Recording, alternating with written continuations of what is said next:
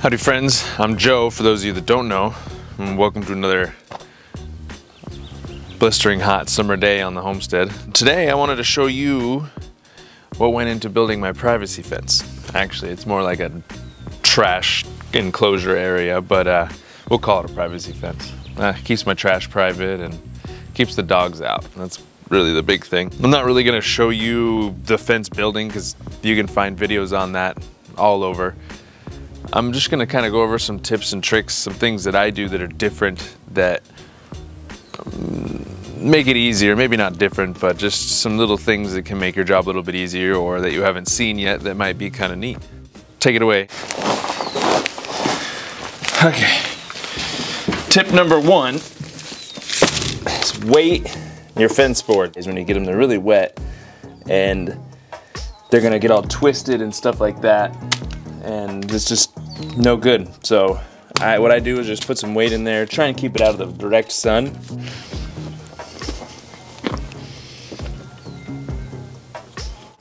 The next tip is kind of just uh, good to have around. You can use it on any sort of project where you're using a post. Tip number two, if you have some bar clamps, take and bar clamp your level onto your post or levels.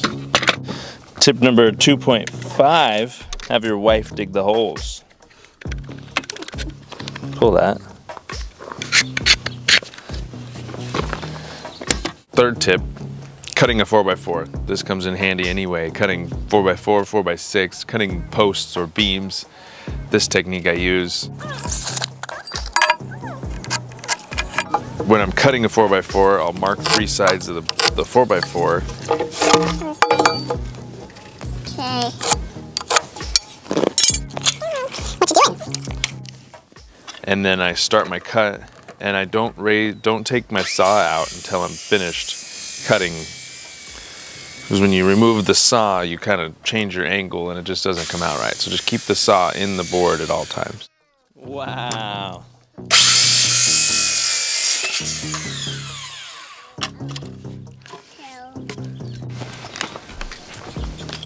So this one's really handy. These brackets. They are called an FB24Z made by Simpson Strong Tie.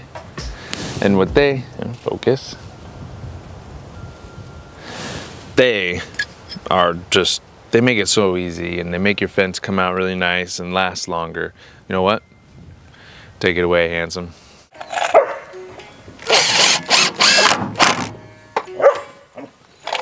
Now these things are great because typically when you see a fence, people run the 2x4 flat.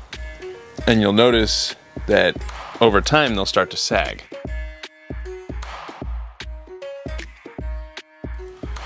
These clips allow you to run the 2x4, um, I guess you would call it vertically. And a 2x4 has more strength this way than it does this way. That's why like your floor joists are ran um, vertically rather than horizontally like this because there's just no no meat here to hold. So these clips are, are really neat for that. So let's go ahead and put one up. Take the your long board before you cut it, put it in there. And it holds it, makes it real easy for one. Level it out.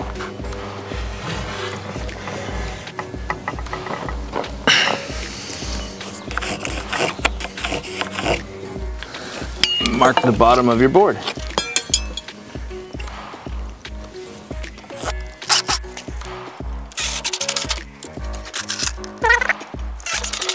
Just like that, pretty simple and easy. Makes it real nice because you don't have to have someone hold it while you're screwing it in. Just sits there and hangs out.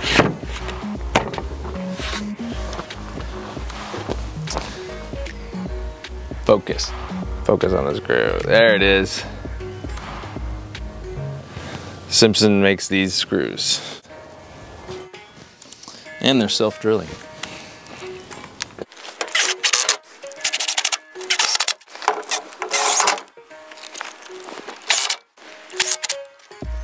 This tip I think it's the the coolest thing. I mean, it just really ups the fence game. Um, you know what? Let him take care of it. So if there's one tip that you take away from this, I would hope that this would be the one because I think this is the one of the better things you could do for your fence is this board here. So the way that this works is you put this in and this will be this will be just just about ground level. I'm gonna bring this up a bit with gravel. and then your fence boards butt into that. And what that does is it keeps these off the ground. One, they break or they're just stuck in the dirt all the time.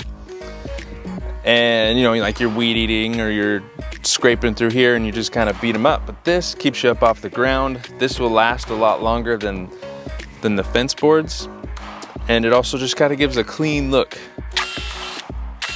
Typically I'll pre-drill, especially when you're so close to the edge.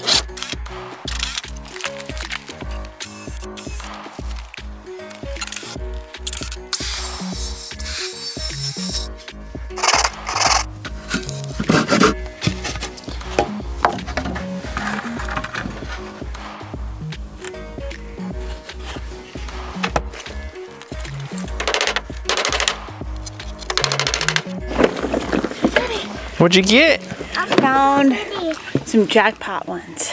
Let's see, show me, open it up. The ones that are falling down in the creek are the most juiciest ones. Oh dear. There's still a bunch.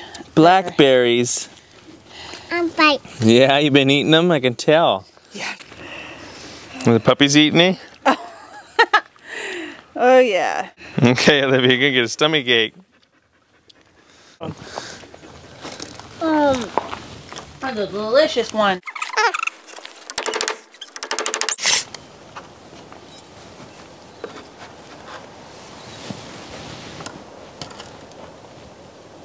Strings are really pretty useful in the construction industry. So yeah, pay attention to this one. So I took the measurement off the piece over, the piece that I've already mounted over there. If this is level, which it is, should be able to take that measurement and bring it over here and transfer it to the post here. Now this, that mark there and the top of that fence is level. I'll take a string and run it off the top of that over to here and that'll give me my height, level height to cut my, uh, my fence boards.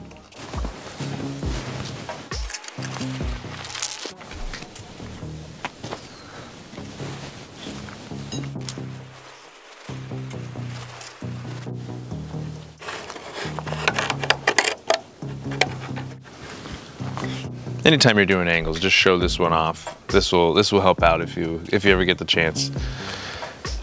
Use it. As you might be able to tell, this board here is sloped following the, the grade of the, the ground. And I want to figure out what this angle is so that I can transfer that to my deck boards. So what I'll do is I'll just take a scrap piece of wood. I'm using a lighter colored wood so you can see the pencil. And I'll mark it right along the post on the back. And take the square, speed square, go right to the point and uh, follow that mark and then look down on my square and it says it's about six degrees. So I know now that I need to cut my angle on my boards at six degrees all the way through.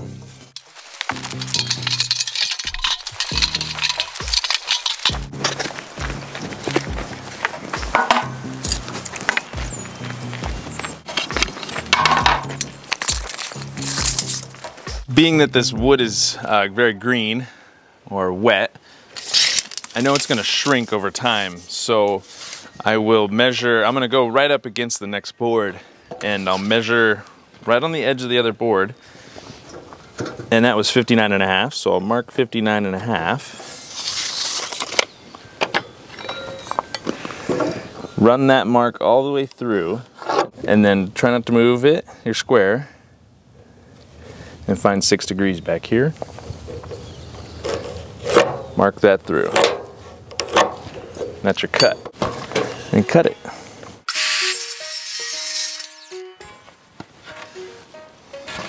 And that was long point. This will be my face. And that 59 was long point.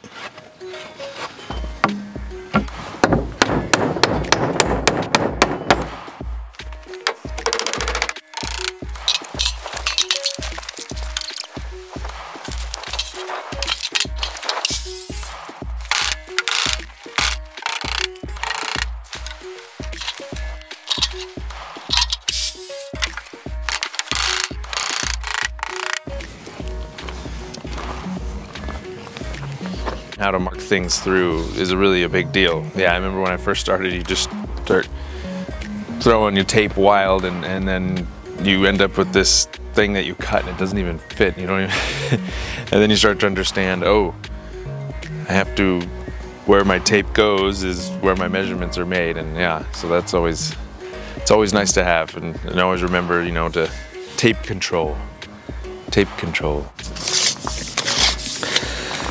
a lot of this has to do with tape control, so you can't just stab your tape anywhere and, and hope for it.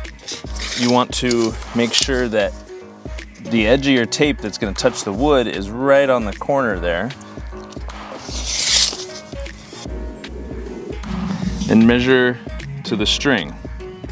You could measure over here, but then you'd be off at an angle and it's not gonna give you the correct measurement. So now I'm at 58 and 3 sixteenths.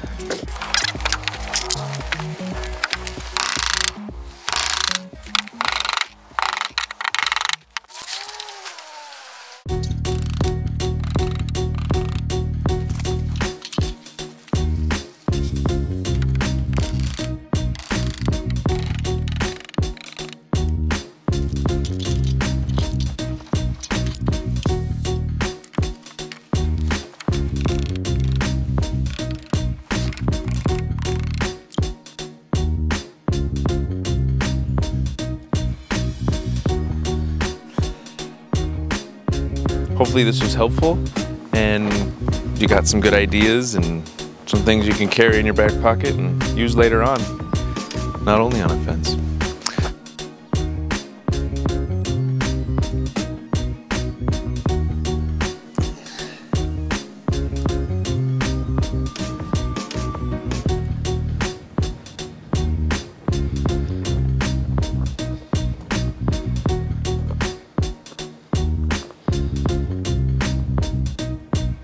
I'm also doing a video on that gate there. I call it the Z gate.